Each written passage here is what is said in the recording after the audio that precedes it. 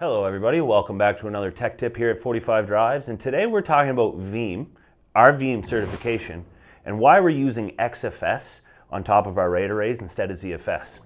So let's get into it.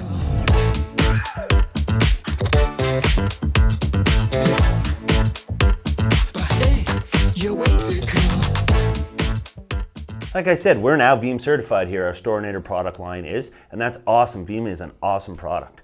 They're used widely in the industry and we have many a customer using it and they've always asked for us to be certified. So we did get certified. You want to learn more about all that and our architecture and that process, check out a video uh, colleague Mitch Hall did. Um, but what I want to talk about today in particular is maybe a little point of confusion.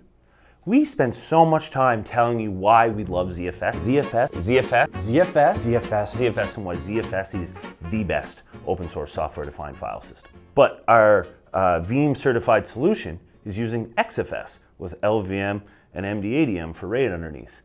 Why the difference? Well, the difference is the main driver of that fact is to use Veeam at its very best, you need a feature called what's called an XFS reflinks. In Linux right now, XFS is the only file system that supports this feature. Side note, ZFS is working on it. It might actually be in the latest release, but Veeam doesn't completely support it yet, so we're still using XFS. So what does that mean to you and uh, addressing the perils of storage with your storage system, but you're not going to use ZFS. So since Veeam supports this particular use case the best and makes their software um, as fast as possible, uh, it gives us their fast synthetic backups, better overall performance compared to any other file system, and just like a very efficient use of the data, we must use XFS. So this is the beauty of open source software.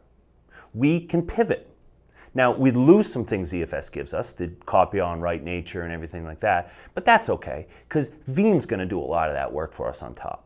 So what your architecture will look like in your storage server when you use our Veeam certified architecture is you'll use MDADM for your RAID level.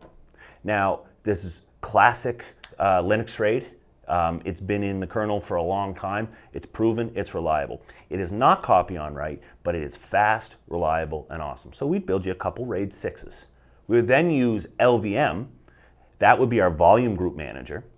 Um, that layer would then stripe a bunch of these RAID arrays together to give you fast, large, single namespace in the server. And then we put XFS on top of that, and that allows Veeam to use all its best features.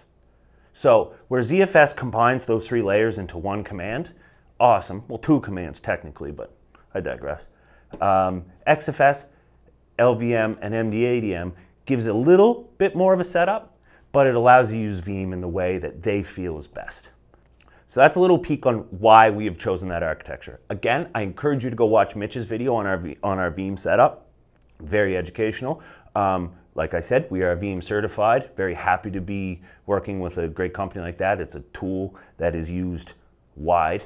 And honestly, shout out to Veeam too. Um, well, it's proprietary in nature and closed source. They move with the times really well. I would call them almost neo legacy in the way because as soon as uh, VMware did all their nonsense, uh, what did Veeam do? They worked on a Proxmox integration.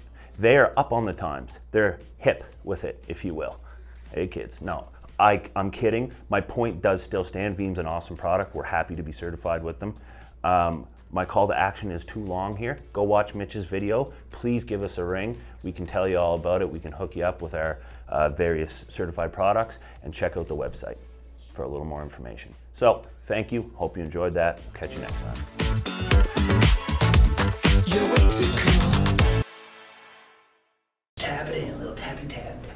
Tab it in,